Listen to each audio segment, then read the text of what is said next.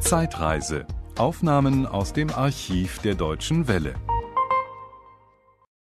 Herr Forster, Sie sind 1924 wohl zum ersten Mal mit Rainer zusammengetroffen im Theater in der Josefstadt, ja. als Sie sehr schnell innerhalb eines Tages einspringen mussten mit dem Präsidenten ja. in Kabale und Liebe. Und äh, in dieser Sendung über Max Reinhardt wäre es für uns sehr schön, einmal über die Arbeitsweise äh, von Max Reinhardt zu erfahren. Oder wie wirkt er, wenn man ihn zum ersten Mal sieht? Er musste ein Mensch gewesen sein, äh, der wirklich alle anderen, die er zum ersten Mal gesehen hat, verzaubert hat. Ja, er hat alle Menschen fasziniert. Das lag schon in seinem Äußeren, äh, von seinem großen, großen Können ganz abgesehen. Seine großen, wasserblauen, unerhört sprechenden Augen waren derart suggestiv für jedermann, für Privatleute, für Schauspieler, für Künstler und so weiter. Und äh, sein sehr schöner Kopf, sein sprechender. Und äh, das allein schon waren so suggestive äh, Gaben, nicht wahr? Und so äußerliche Gaben, dass das allein die Menschen sehr fesseln konnte, abgesehen von seinem ganzen unerhört charmanten Wesen, außerordentlich charmant, und von seinem großen Können, das ja einzigartig war.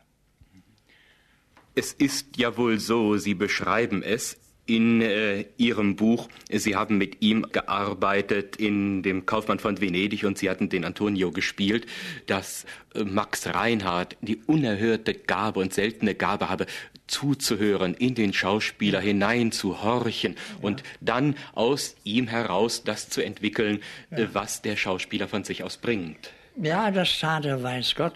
Wenn er auf die Probe kam, wie ich es in meinem Buch beschrieben habe, schwieg er ja ungefähr eine ganze Stunde, hörte nur intensiv zu und nahm die Atmosphäre auf, um dann jedem einzelnen der Darsteller, die er ja eben auf Deutsch gesagt eben abgehört hatte, um denen beizustehen. Es wurde wiederholt, von vorne gemacht. Es wurde zweimal wiederholt, auch dreimal. Und da griff er ein und gestaltete, gestaltete äh, die Schauspieler eben nach seiner wundervollen Art. Ohne aber diktatorisch zu sein. Ohne diktatorisch zu sein. Mit seinen wundervollen Einfällen, die im Detail und so weiter, weiter, also alle großartig waren.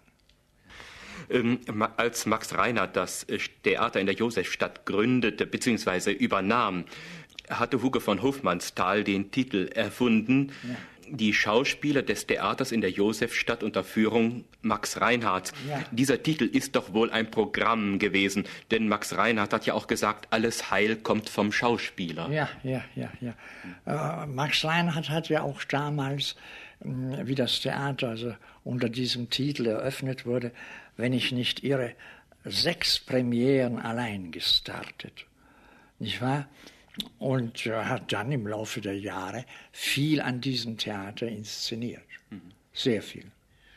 Max Reinhardt betrachtete wohl auch den Schauspieler nicht als einen Ideenträger einer Idee, eines Stückes, sondern als denjenigen, der einfach das Blut und die Lebendigkeit in ja. die Aufführung hineinbringt. Ja, ja, absolut. Ich erinnere mich übrigens noch einer äh, Angelegenheit, die ich mit Max Reinhardt erlebte, so ähnlich wie beim Kaufmann von Venedig. Als ich im Herbst 24 bei ihm äh, probierte, äh, die heilige Johanna und den Dauphin probierte, merkte ich, dass ich seinen Intentionen so darstellerisch nicht ganz entsprach.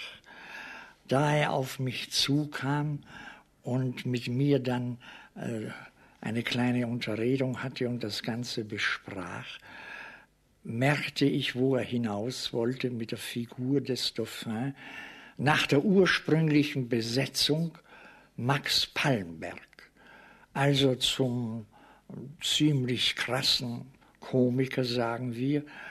Und äh, das konnte ich ihm nicht bieten. Palmberg war damals nicht zu haben. Er war in einem anderen Stück drin, in einer anderen äh, Vorstellung. Und so wurde ich für die Rolle engagiert.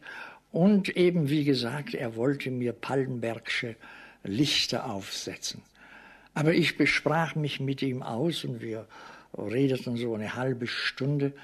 Und genauso wie im äh, Kaufmann von Venedig sozusagen, gab er nach und ließ mir meine verhältnismäßig kindlich naive Art für den Dauphin und so spielte ich ihn. Dank Max Reinhardt. Das war ein Podcast aus dem Archiv der Deutschen Welle. Schön, dass Ihnen das Angebot gefallen hat. Empfehlen Sie uns doch bitte weiter. Deutsche Welle. Mehr unter dw.de.